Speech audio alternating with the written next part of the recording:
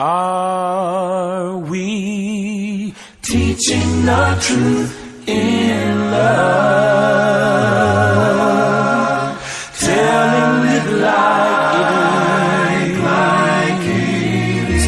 Are we holding pure motives, showing that we care? Are we teaching the truth in love. love.